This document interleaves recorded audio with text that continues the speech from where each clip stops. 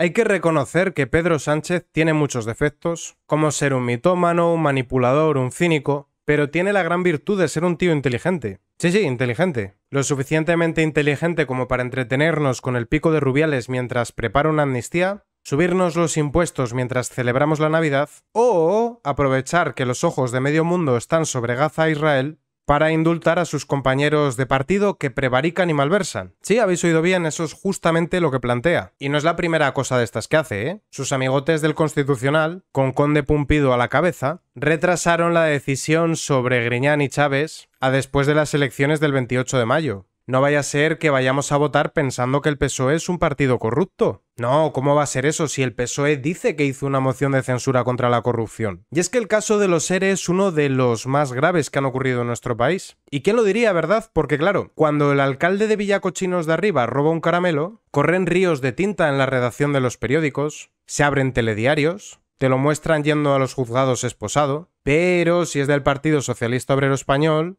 hay es que tiene cáncer, hay es que está muy mayor, hay es que pobrecito. Es curioso porque, claro, Zaplana, teniendo cáncer, sí que estuvo en prisión. De hecho, es que en las cárceles españolas hay tratamiento oncológico. La excepción de Griñán, cientos de presos reciben tratamiento frente al cáncer. Pero claro, este es un político del PSOE y tiene la sangre azul, mea colonia y sus pedos no huelen. Aquí hay que hacer una excepción. Yo creo que deberíamos de recordar lo que dijo Abascal en la sesión de investidura de Feijó. Viene bastante bien a raíz de lo que estamos viendo. El líder de Vox interpeló directamente a Sánchez, a quien retrató como un político amnistiando a otro político a cambio de sus votos para mantenerse en el poder. No puede haber un mayor acto de corrupción, no puede haber una mayor desvergüenza a la vista de todo el mundo.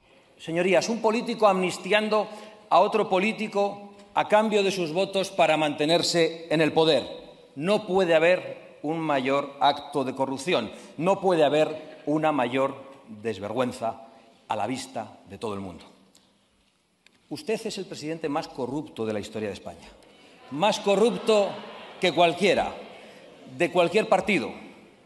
Usted es el paradigma de la corrupción en política porque está robando a los españoles lo más precioso para los españoles, lo repito, señorías, un político amnistiando a otro político a cambio de sus votos para mantenerse en el poder.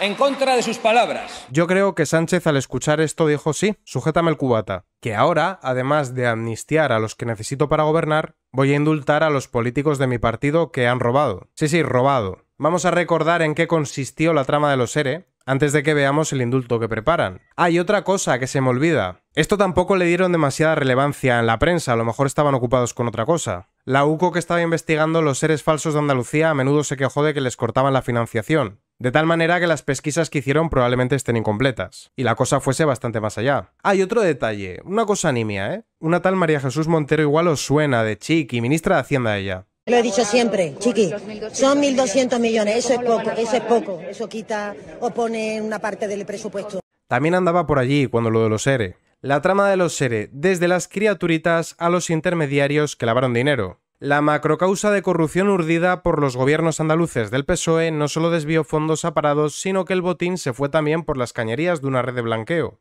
Las pocas veces que hablaban de esto y al final del telediario, siempre le ponían la etiqueta de andaluz. Era el PSOE andaluz. Ya os podéis imaginar que si estuviese pasado en Vox o el Partido Popular, sería culpa de todo el partido y el presidente debería de dimitir aunque sea una pedanía perdida en las montañas. Cuando los antiguos responsables de la Junta de Andalucía o los dirigentes del PSOE han tratado de justificar la macrocausa de corrupción de los ERE, incrustada en la administración andaluza durante nada menos que una década, siempre han alegado que el dinero público sirvió para socorrer a parados y empresas en crisis. Vienen a decir que, aunque el procedimiento empleado para repartir los fondos millonarios hacía aguas por todos lados, la finalidad era muy loable.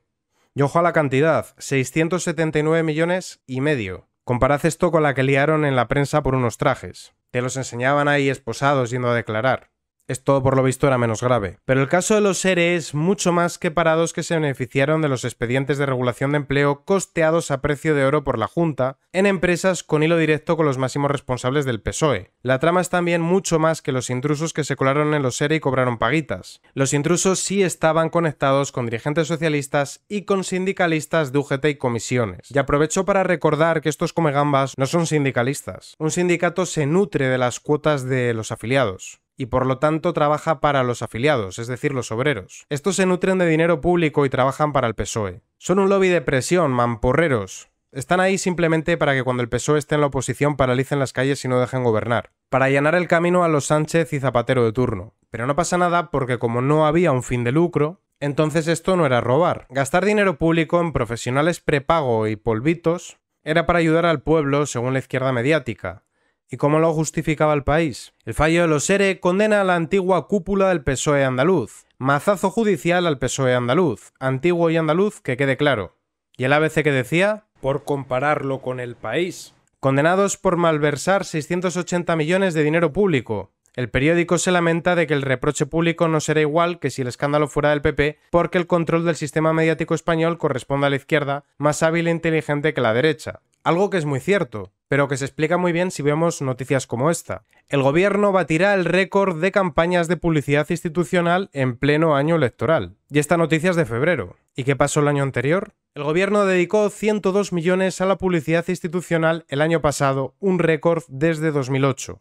O dicho de otra forma, comprar voluntades. Y ahora vamos a lo que nos ha traído hoy aquí. El Ministerio de Justicia ha iniciado el trámite de los indultos al expresidente de la Junta de Andalucía, José Antonio Greñán, y a otros exaltos cargos autonómicos del PSOE condenados por prevaricación y malversación del caso ERE escriben en ABC. El Ministerio de Justicia ha iniciado el trámite para la concesión de los indultos al expresidente de la Junta de Andalucía, José Antonio Griñán, y a otros exaltos cargos autonómicos del PSOE, condenados a penas de prisión por delitos continuados de prevaricación y malversación de fondos públicos.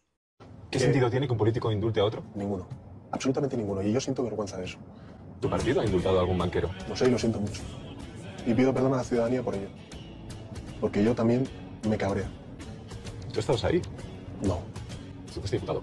Pero, pero, eso es una decisión del gobierno. Y yo he dicho públicamente que uno de los principales errores fue ese indulto. Yo lo que digo es que hay que acabar con los indultos políticos. Pero a mí es que no me sorprende en absoluto. Os aseguro que si mañana en el Congreso los del PSOE sacrifican una cabra, la gente que les vota les seguiría votando.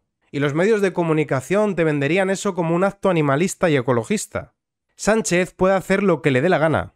Pero también aquí hay que recalcar algo, Sánchez no está ahí por generación espontánea. A Sánchez le vota la gente. Y no solo a él, también a los de Sumar, a los de Esquerra, al BNG, Bildu. Parte de culpa tenemos de esta situación. La próxima vez que os llegue una multa por aparcar mal, recordad que si eres un político y robas, y te lo gastas en cocaína y mujeres de compañía, no te pasa absolutamente nada, porque vivimos en el neofeudalismo. Porque el régimen del 78 murió el 11M, cuando Zapatero se saltó la jornada de reflexión al grito de queremos saber la verdad, e iniciamos el PSOE State of Mind, porque España es el cortijo del Partido Socialista Obrero Español. Y quiero recordar una frase de Rebelión en la Granja de Orwell. Todos los animales son iguales, pero unos son más iguales que otros. TV, Política y Noticias.